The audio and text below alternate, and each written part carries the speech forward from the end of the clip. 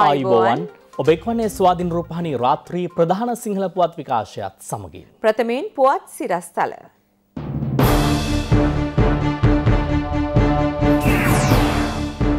Corona රෝගීන් හතර දෙනෙකුට දිවි අහිමි වෙද්දී දෙසිය පනස් හත් දෙනෙක් රෝගී ලයිස්තුවට. විශ්ව ආශිර්වාද හෝරා පහන්සිලෙන් රටටත් ලොවටත් සෙත්ශාන්තියක්. සතොසෙන් අනිද්දා සිටම පාලන මිලටම සහල්. ජීවිත රැකගන්න ගෙදරම රැඳෙන්න පුරුද්දක් කරගන්න. කොරෝනාව නිසා ඩෙන්මාකේ මුගටියන්ටත් නරක කලා. කොරෝනා වේසනයේ සමස්ත රටවැසියාම ආරක්ෂා කර ගැනීම සඳහා වැඩපිළිවෙල රැසක් ක්‍රියාත්මක වනවා. ආගමික ආශිර්වාදය ලබා ගැනීම සඳහා ස්වාධීන රූපහානී මාධ්‍ය ජාලය විශ්ව ආශිර්වාද හෝරාව සංවිධාන කළේ මේ අනුවයි.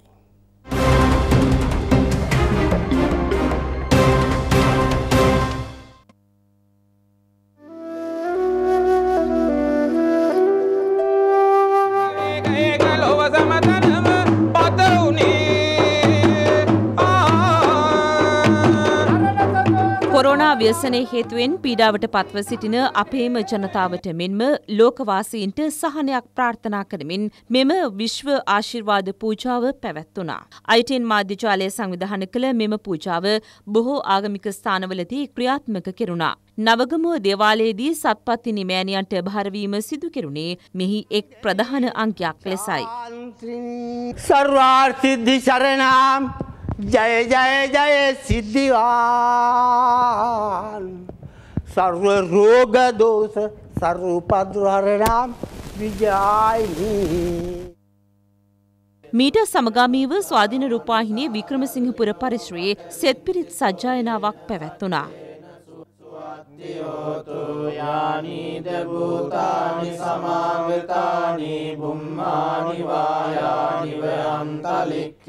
සත්පත්තිනි දේවාලයේ ප්‍රධාන කපු මහතා දේව කන්නලව්ව සිදු කළා.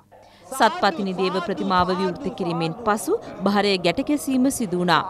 සාදු සාදු සාදු සාධකාරෙන් පිං ලබා මේ ශ්‍රී ලංකාදීපේ ජනීජනින්ද නරණදුන්ද මහසඟරුවනද දැසි දස්සන්ද සියලු ජාතින් සියලු ප්‍රාණ ආත්මයන් රැකවාදී මේ කොරානා වදුරුව සංගත මේ ශ්‍රී ලංකා දීපේ නිවාරණය කර තුරංකර ආයු රක්ෂවා සෙසිරි වඩවා බුදුවන අම්මේ සාදු සාදු සාදු.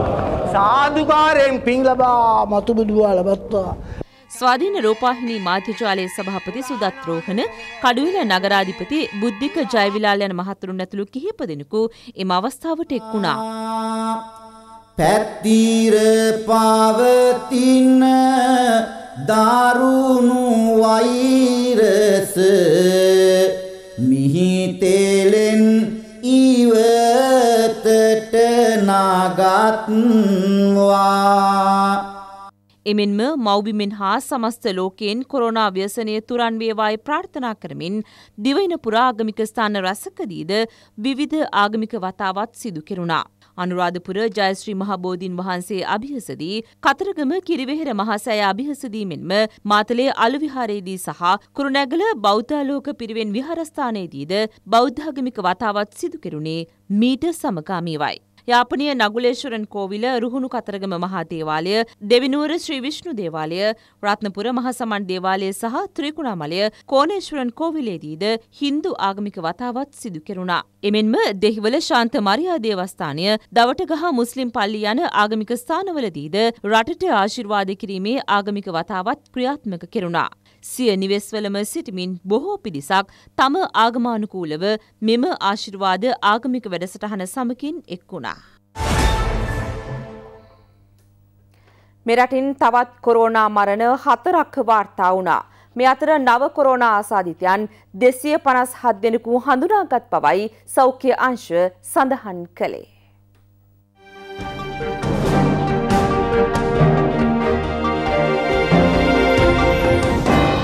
අද වාර්තා වූ කොරුණා මරණ හතරෙන් දෙකක් මාලිකාවත්ත ප්‍රදේශයෙන් වාර්තා වී තිබෙනවා. හතලිස් දෙහවරදි හා හැට නමහැවරදි කාන්තාවන් දෙදෙනෙකුයි මෙසේ මියකුස් ඇත්තේ. එමෙන්ම වැල්ලම්පිටිය ප්‍රදේශයේ පදිංචි හැටහත් හැවරදි පුද්ගලයෙකු හා ගණයමුල්ල ප්‍රදේශයේ පදිංචි අසු අට හැවරදි කාන්තාවක ජීවිතක්ෂයට පත් ඇති බවයි සෞඛ්‍ය අධ්‍යක්ෂ ජෙනරාල් විශේෂඥ වෛද්‍ය අසේල ගුණවර්ධන මහතා පවසන්නේ. අද දිනේ හඳුනාගත් ආසාධිතයන් දෙසිය පනස් හත් දෙනා මිනුවන්ගොඩ පෑලියගොඩ කොරුණා පොකුරට සම්බන්ධ ආසාධිතයන්ගේ ආශ්‍රිතයන් වෙනවා. ඒ අනුව එම කොවිත් පොකුරෙන් මේ දක්වා වාර්තා වී ඇති කොරුණා ආසාධිතයන්ගේ සංඛ්‍යාව නවදහස් හත්සය හතලිස් නවයක්. ඒ අනුව මේ දක්වා මෙරටින් වාර්තා වී ඇති සමස්ත කොරුණා ආසාධිතයන් සංඛ්‍යාව දහතුන් දහස් දෙසිය විසි හතක්. ඉන් රෝගීන් පන්දහස් හාරසිය හැත්ත හතර දෙනෙකු රෝහල්ගතව ප්‍රතිකාර ලබනවා. තවත් හාරසිය හැට අට දෙනෙකු පසුවන්නේ වෛද්‍ය අධීක්ෂණය යටතේ. අද දිනේ සුවේ ලබා රෝහල්වලින් පිටව ගිය කොරෝනා ආසාධිතයන් පන්සිය තිස් හත් දෙනාද සමගින් මෙරට සුවේ ලැබූ කොරෝනා ආසාධිතයන් සංඛ්‍යාව හදහස් හත්සිය විසිතුනක්. මේ දක්වා මෙරටින් වාර්තා වී ඇති කොරෝනා මරණ සංඛ්‍යාව තිස් හතරක්. බෝගම්පර බන්ධනාකාරයේ රැඳවුවන් හත් දෙනෙකුට කොරෝනා වෛරසය ආසාදනය වී ඇති බව තහවුරු වුණා. මේ අතර පාස්කුඩිදා ප්‍රහාරයේ මහමුලකරු වූ සහරන් හෂිම්ගේ බිරිඳ වන ෆාතිමා ෂාඩියාටද වැලිකඩ බන්ධනාකාරයේදී කොරෝනා වෛරසය ආසාදනය වී ඇති බව තහවුරු වී තිබෙනවා. මේ වන විට ඇය ප්‍රතිකාර ලබමින් සිටින්නේ වැලිකන්ද රෝහලේ බවයි බන්ධනාගාර ආරංචි මාර්ග සඳහන් කළේ. වෙන්නපුව සෞඛ්‍ය වෛද්‍ය නිලධාරී කොටාශයේ දංකොටුව තඹරවිල ප්‍රදේශයේ පෞද්ගලික කර්මාන්ත ශාලාවක සේවකයින් සිව් දෙනෙකුට කොරෝනා ආසාදනය වී ඇති බව තහවුරු වුණා. ඔවුන් රෝහල්ගත කෙරුණු අතර එහි සේවක සේවිකාවන් එකසිය හැට එක් දෙනෙකු නිරෝධායනයට ලක්කර කර්මාන්ත ශාලාව තාවකාලිකව වසා දැමීමටයි පේවර කෙරුණේ. පසුගියදා කොරෝනා ආසාදිතයන් පිරිසක් හඳුනාගත් හොරණ ගුරුකොට ප්‍රදේශයේ පෞද්ගලික කර්මාන්ත ශාලාවේ තවත් අසූ එක් දෙනෙකුට වෛරසය ආසාදනය වී ඇති බව තහවුරු වී තිබෙනවා. ඒ අනුවම කර්මාන්ත ශාලාවෙන් මෙතෙක් හමු වී ඇති ආසාධිතයන් සංඛ්‍යාව එකසිය පනස් නමයක්. අම්බලංගොඩ තිලකපුර ප්‍රදේශයේ එකම පවුලේ පස් දෙනෙකු කොරෝනා ආසාධිතයන් බව හඳුනා ගැනුණා. ඔවුන් පෑලියගොඩ මත්ස්‍ය වෙළඳ සංකීර්ණයට සම්බන්ධ මාළු ව්‍යාපාරිකයෙකුගේ පවුලේ සාමාජිකයන් වෙනවා. කොළඹ සිට මින්නේරිය තීවර සංස්ථා මත්ස්‍ය අලවිස්තලට පැමිණි සේවකයන් තිදෙනෙකු කොරෝනා රෝගීන් ලෙස හඳුනා ගැනීමෙන් පසු වැලිකන්ද විශේෂ කොවිඩ් ප්‍රතිකාර ඒකකයේ වෙත යොමු කිරීමට පියවර ගැනුණා. එම අලවිස්සලේ සෙසු සේවකයන්ද නිරෝධායනයට ලක් කිරීමටයි කටයුතු කෙරුණේ. මස්කලිය ප්‍රදේශයේ කොරුණා ආසාධිතයන් හත් දෙනෙකු හඳුනාගෙනුණා. ඒ අතර මස් හතරක් වයසති බිලිඳකුද සිටි බවයි මස්කලිය සෞඛ්‍ය වෛද්‍ය නිලධාරී ටී චන්ද්‍රරාජ්‍ය මහතා සඳහන් කළේ.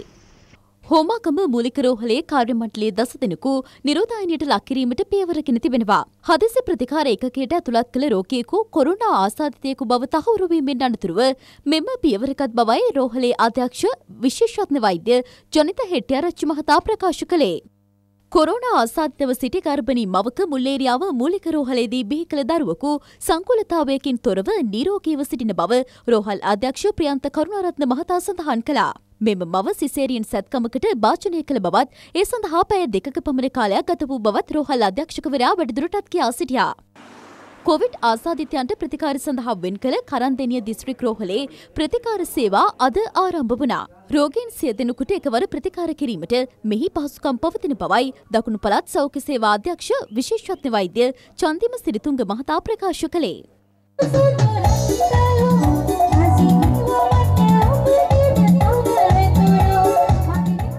රුවන්පුර අධ්‍යාපන විද්‍යාපීඨ කොවිඩ් ප්‍රතිකාර මධ්‍යස්ථානයේ ප්‍රතිකාර ලබන ආසාදිතයන්ගේ මානසික සුවය වෙනුවෙන් සංගීත වැඩසටහනක් පැවැත්වුණා. කහවත්ත මූලික රෝහල හා ප්‍රාදේශීය ලේකම් කාර්යාලයෙක්වයි එය සංවිධානය කර තිබුණේ.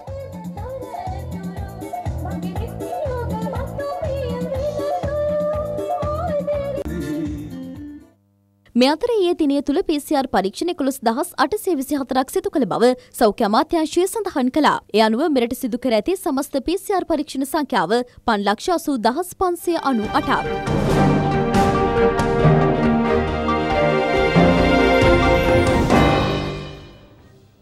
දැනට ගෙන ඇති තීරණවලට අනුව අනිද්දා වන විට බස්නාහිර පළාතේ නිරෝධායන ඇඳිරි නීතිය ඉවත් කළද සති අන්තයේ නිවෙස් තුළම රැඳී සිටින ලෙස පොලිස් මාධ්‍ය ප්‍රකාශක නියෝජ්‍ය පොලිස්පති අජිත් රෝහණ මහතා පවසනවා. මේ අතර ගත වූ පැය 24 තුළ නිරෝධායන ඇඳිරි නීතිය කඩ කළ පුද්ගලයන් 150 දෙනෙකු අත්අඩංගුවටගෙන තිබෙනවා. බස්නාහිර පලාතේ පොලිස් බල ප්‍රදේශ එකසිය දොළහක සහ කුලියාපිටිය ඇහැලියගොඩ යන පොලිස් බල ප්‍රදේශවලත් කුරුණෑගල මහනගර සභහ බල ප්‍රදේශයත් මේ වන විට නිරෝධහයන ඇදිර නීතිය ක්‍රියාත්මකයි. මේ අතර ගිරිවුල්ල මවනැල්ල හෙම්මාතගම යන ප්‍රදේශ තවදුරටත් හුදකලා ප්‍රදේශ ලෙසයි පවතින්නේ. සමහර ප්‍රදේශවලට ඇදිරිනීතිය පනෝල විශල දින දාහතරකට අසන්න කාලයක් ගත වෙනවා. සාමාන්‍යයෙන් මේ රෝගී රෝග ලක්ෂණ ඇති වෙනවා නම් දින 14ක කාලයක් තුල ඇති වෙන්න ඕනේ. යම් ආකාරයක ආසාදිතෙක් සමග සබඳතාවයක් ඇති වෙලා තියෙනවා නම් ඒ රෝග ලක්ෂණ මතු පිටට පැමිණෙන්න හැකියාව තියෙන්නේ මේ ඉදිරි අද හෙට වගේ දිනවලදී. ඉතින් ඒ නිසා බස්නාහිර පළාතේ පදිංචි සියලු දෙනාගෙන් අපි ඉල්ලා සිටිනවා දැන් මේ සතිය අන්තය සෙනසුරාදා ඉරිදා නිවසේම රැඳී සිටීම අත්‍යවශ්‍ය වෙනවා. කෙසේ වෙතත් දැනට ගෙන ඇති තීරණ අනුව ඇදිරි නීතිය සඳුදවන විට ඉවත්වීමට නියමිතව තිබෙනවා. නමුත් සමහර ස්ථාන තියෙනවා හුදෙකලා කරපු ගම්මාන කුඩා ප්‍රදේශ ඒවා ඒ ප්‍රදේශයේ සෞඛ්‍ය බලධාරීන්ගේ නිර්දේශ මත තමයි ක්‍රියාත්මක වෙන්නේ. ඒවා ඒ ආකාරයටම තියෙනවා. ඒ අනුව නව සාමාන්‍යකරණයට යටත්ව එදිනෙදා කටයුතු පවත්වාගෙන යාම අත්‍යවශ්‍ය වෙනවා. මේ අතර නිරෝධයන ඇදිරිනීතිය උල්ලංඝනය කරන පුද්ගලයින් අත්තරංගොට ගැනීමේ මෙහෙයුම් තවදුරටත් සිදු කෙරෙනවා.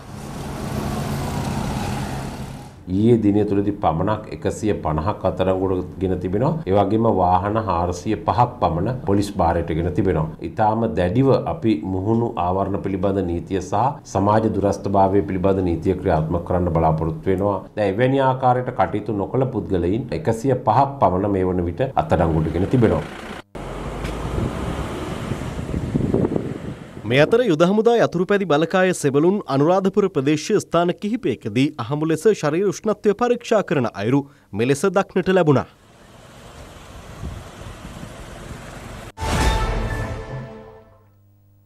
සතොස මකින් අනිද්දා සිට නියමිත මිලට සහල් අලවි කරන බව අමාත්‍ය ආචාර්ය බන්දුල ගුණවර්තන මහතා පවසනවා. පවසනවා. ඒ සඳහා අවශ්‍ය සහල් තොග පවතින බවයි අමාත්‍යවරයා කියා සිටින්නේ. සතොස මගින් නියමිත මිලට සන්දොයින්න සහල් අවශ්‍ය ප්‍රමාණයට බෙදාහරිනවා සම්පකාර ව්‍යාපාරයටත් අපි ලබා දෙනවා. වී මෝල් හිමියන් මේ මිලට සහල් සපයන්න දැන් එකඟ වෙලා තියෙනවා. මේ මෝල් හිමියන් තිබෙන වී සාමාන්‍ය වැඩි කළ මිලට මිලදී ගැනීම නවත්තලා ඊයේ ඉඳන්. අනුරාධපුරයේ සතුස මධ්‍යස්ථානයේ නිරීක්ෂණ චාරිකාවකට එක්වෙමින් අමාත්‍යවරයා මේ බව කියා සිටියා. සතුස වෙළඳසැල්වල පවත්නා අඩුපාඩු පිළිබඳවද අමාතිවරයා මෙහිදී සොයා පැළුවා. පසුගිය රජයේ සමයගත් වැරදි තීන්දුව සම්බන්ධයෙන් බඳුල ගුණවර්තන මහතා මෙහිදී කරුණු පැහැදිලි කළා. අමාත්‍ය එස්.එම්. චන්ද්‍රසේන හිටපු ප්‍රධාන අමාත්‍ය එස්.එම්. රංජිත් යන මහත්වරුන්ද මෙම අවස්ථාවට සහභාගී වුණා. සතුස මකින් නියමිත මිලට සහල් අලෙවි කිරීම පිළිබඳ මාධ්‍යවේදීන් මතු කළ ප්‍රශ්නවලට බඳුර ගුණවර්තන මහතා පිළිතුරු ලබා දුන්නා.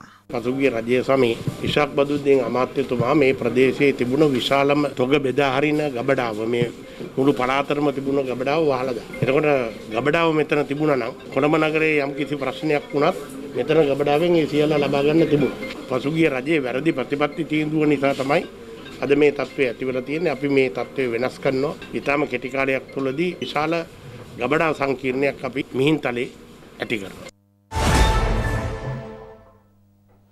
දිවංගත ඩී රාජපක්ෂ මහතාගේ පනස්තුන් වන ගුණ සමුරුවට සමගාමීව පිරිත් දේශනයක් හා දානමය පින්කමක් පැවැත්වුණා.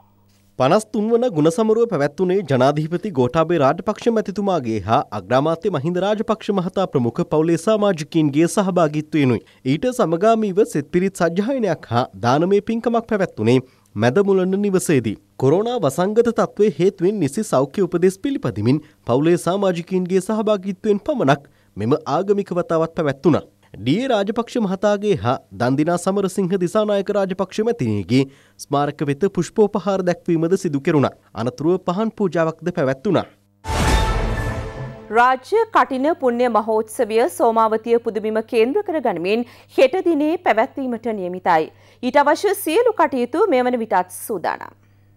රජ දවසින් පසු ඉතිහාසයේ පළමුුවරට කටින පුුණ්්‍ය මහොත්සවය රාජ්‍ය අනුග්‍රහය යටතේ පැවැත්වෙන්නේ මෙවරයි.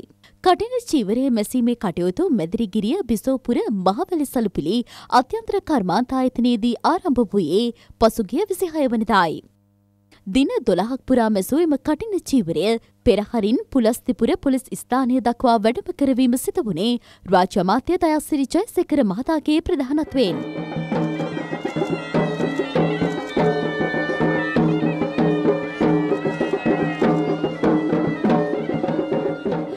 පොලිස් ස්ථානයේ සිට හෙට අලුයම කටින චීවරය සෝමාවතී රජමහා විහාරස්ථානයේ වෙත වැඩම කරවීමටයි කටයුතු යොදා ඇත්තේ. සෞඛ්‍යාරක්ෂිත ක්‍රමවේද අනුගමනය කරමනුයි සියලු කටයුතු සිදුවන්නේ.